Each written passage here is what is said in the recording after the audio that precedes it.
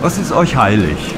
Ja, das ist irgendwie erstmal eine ziemlich schwere Frage, weil Ja. also man muss halt irgendwie einen Unterschied machen, was einem wirklich Spaß macht und was einem gefällt und so, aber halt auch was einem heilig ist. Also das ist für mich jetzt schon ein Unterschied, aber was Genau. ziemlich wichtig für uns ist, das ist sicher Die ähm, Familie und Ja. die Freunde und dass man viel Kontakt mit Freunden hat. Und oder auch Ja. Sport und so. Also es ist auf jeden Fall auch noch ein wichtiger Teil bei ja, mir genau. zumindest. Ja. Was machst du denn für Sport? Ähm, also ich mache Leistungsturnen und Volleyball. Ich bin in Leichtathletik Okay. und ja, Turnen habe ich auch mal gemacht. Genau, also so Handstand und so Zeug. genau. Ähm, ja, und was uns heilig ist, also eigentlich ist es bei mir nur Gott. ja. Ja, Gott ist eine wichtige Rolle in unserem Leben. Und Wir wo, haben das auch von unseren Familien so gelernt. ja. und wo kommt ihr her?